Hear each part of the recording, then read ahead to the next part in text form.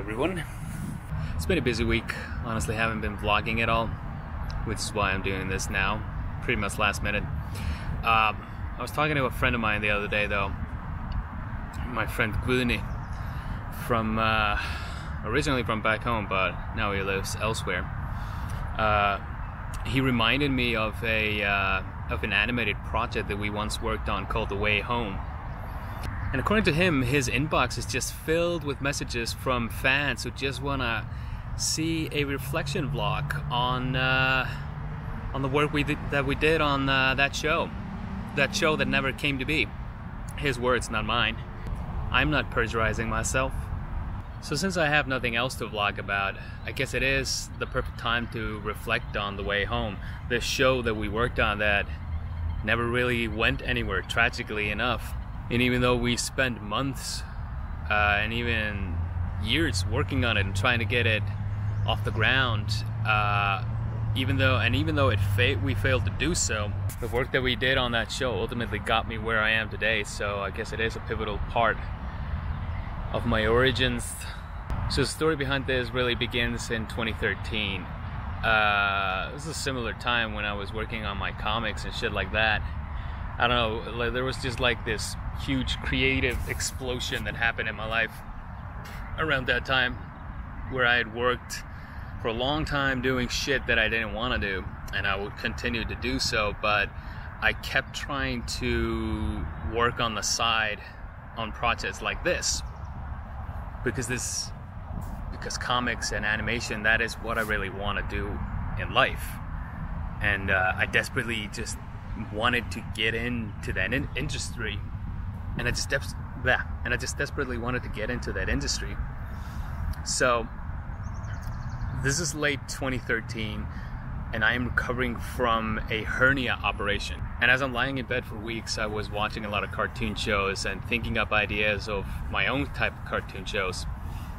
Uh, it was around this time that I came up with the idea for Renegades and uh, like the initial idea for Raccoon Kid as well, like just the character itself. Uh, and I came up with the idea for The Way Home.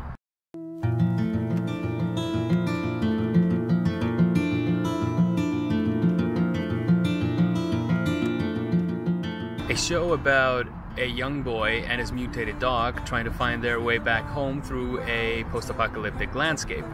Now, the original version of the story was way more goofy, way more silly.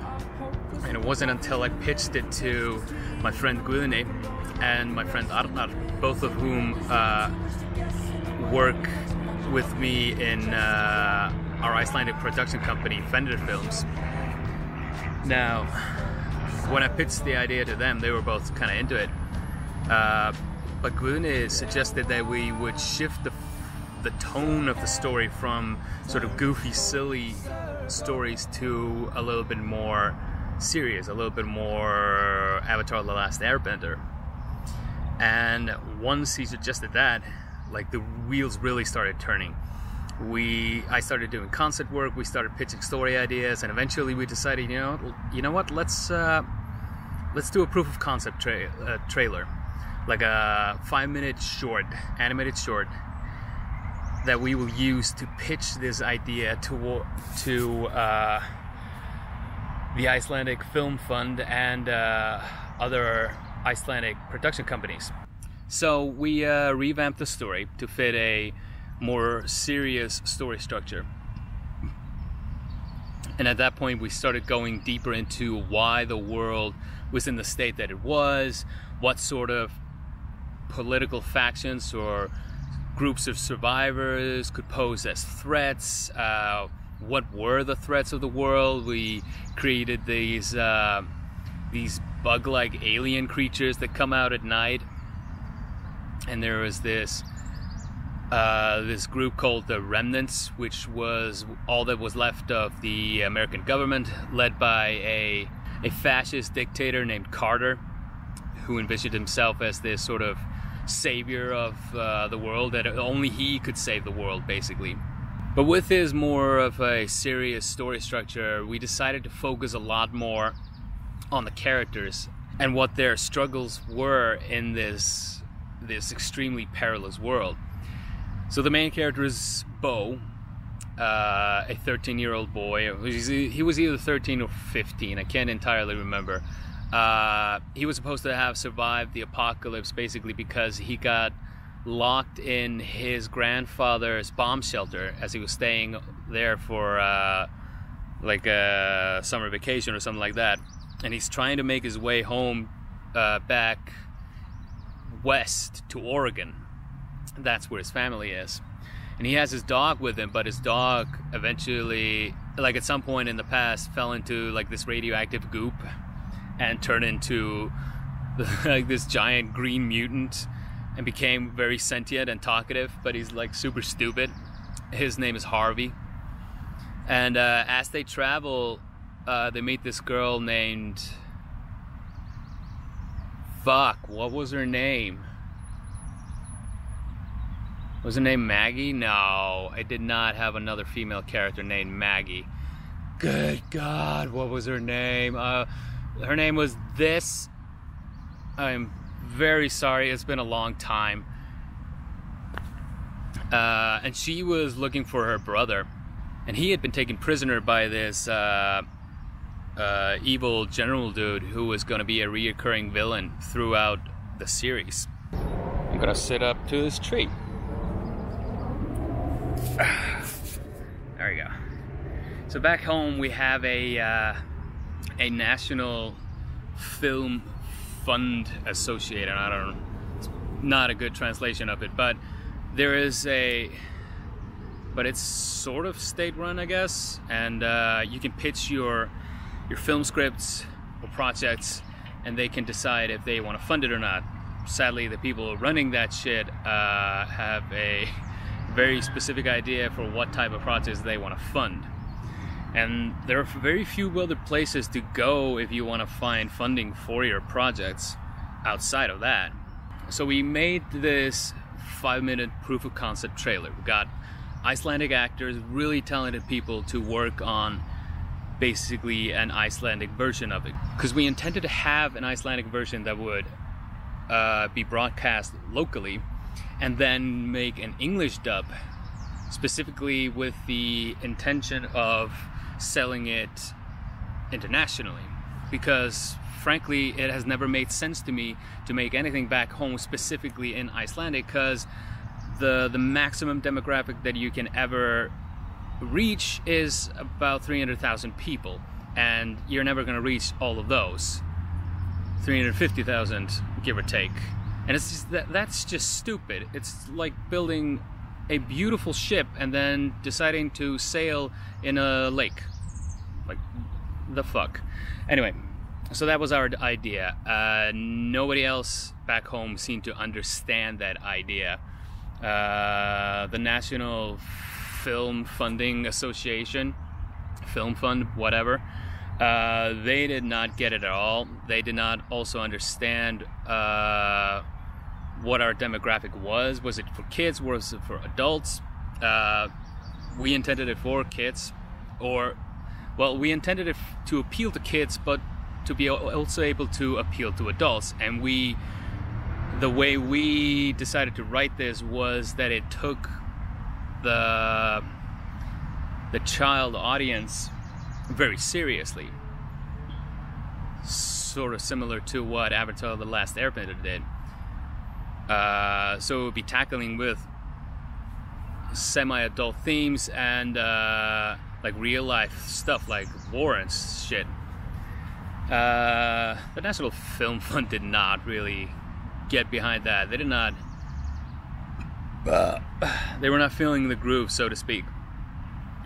But we set up a meeting with a one of the biggest production companies back home, and uh, in the meeting, we were sort of interviewed by a major Icelandic celebrity. Major Icelandic celeb. And uh, the meeting went actually really well. Like, he really liked it. And we were just absolutely thrilled because he was. He, uh, we had already done a treatment of the first season. It was going to be about eight episodes. He liked the animation style. Uh, he seemed to get what that what demographic we were going for, and it made sense to him that this would be aimed at a domestic and international markets. So he told us uh, he was going to get back to us, but he wanted to see an English dub as soon as possible. Now, we, the people who had worked on the Icelandic version of it, were absolutely thrilled, and we decided we were gonna do the English dub as fast as possible. Here, this is where the problems really started to hit us, uh, because the guy who was in charge of our uh, sound design, sound recording, and sound mixing, everything, uh, he was first very much on board with doing this as fast as possible, and then he kept getting delayed, and he refused to hand over everything uh, for us to sound mix uh, for him, which I mean is understandable, but it just there was just setback after setback after setback, and eventually we got back from the uh, from the guys from the uh, from the production company, and they decided not to go with it because the at that point, having shown other people because having shown other people in the company our clip, uh, they were also kind of confused by the demographic. Now, maybe we could have done a better job at uh, explaining exactly how we were going to go about everything, but it seemed clear to us and it seemed clear to the guy who interviewed us. So, I don't know. People back home tend to be a little bit close minded about shit like this. So, uh, and whenever I've pitched this idea at people here, uh, they get it. And they seem excited about the story. So we eventually managed to get another guy to do the English dub for us. Uh, we had to replace one of the actors. Uh, we got the English dub, but at that point, nobody was interested in the project anymore. And uh, this was like early 2014 at this point, and we kept setting up new meetings with the National Funding Association, whatever. And uh, they kept saying no, and eventually, me and Guðni were like, okay, so maybe maybe we could go a different route. Maybe we can turn this into a comic. And we uh, we actually made uh, Guðni wrote and I illustrated like two issues. We basically took the first episode and split it into two 20 page issues or 22 pages. Can't remember. Uh, and for like the first part of 2014 or the later parts of 2014, I was uh, I was working on illustrating that shit, and we had